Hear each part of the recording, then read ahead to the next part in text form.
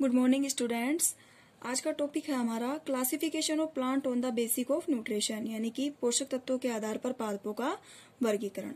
Different type of plant are found on our earth due to different atmosphere which depend on other factors for their nutrition different type of plants are found on our our earth यानी कि हमारे पृथ्वी के चारों ओर अलग अलग प्रकार के पादप पाए जाते हैं। Due to different atmosphere which depend on other factors of their nutrition और इसी तरीके से वो अलग अलग वातावरण पर निर्भर करते हैं अलग अलग कारकों पर निर्भर करते हैं और अलग अलग पोषक तत्वों पर निर्भर करते हैं। Can you now how many types of plant are there on the basic of nutrition क्या आप जानते हैं कि पोषक तत्वों के आधार पर पादपों का पादपों को कैसे बांटा गया है, कैसे उनका वर्गीकरण किया गया है तो देखो लेटेस्ट नाउ आप जानने का प्रयास करें। On the basic of nutrition plant are different type जो ब्लू यानी कि बेसिक आधार पर, पोषक तत्व बेसिक पोषक तत्वों के आधार पर पौधों को निम्न भागों में बांटा गया है। फ़र्स्ट है हमारा ऑटोट्रोफिक प्लांट्स देन सेकंड है parasitic plants insectivorous plants saprophyte plants symbiotic plants तो फ़र्स्ट देखो हमारा क्या है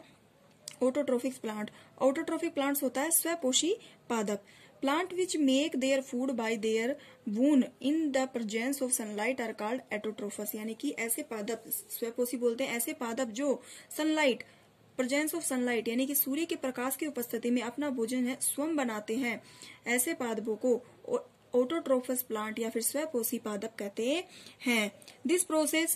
nutrition is called autotrophy यानी कि ऑटोट्रोफी के स्वपोषी प्रक्रिया के आधार पर अपना पाद भोजन स्वयं बनाते हैं। How autotrophic make their food यानी कि जो स्वपोषी पादप अपने भोजन का निर्माण कैसे करते हैं let us see inside the leaf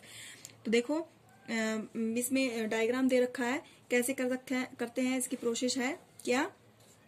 The food of produce by leaves in autotrophs there are numerous tiny openings on leaf a surface this are called stomata यानी कि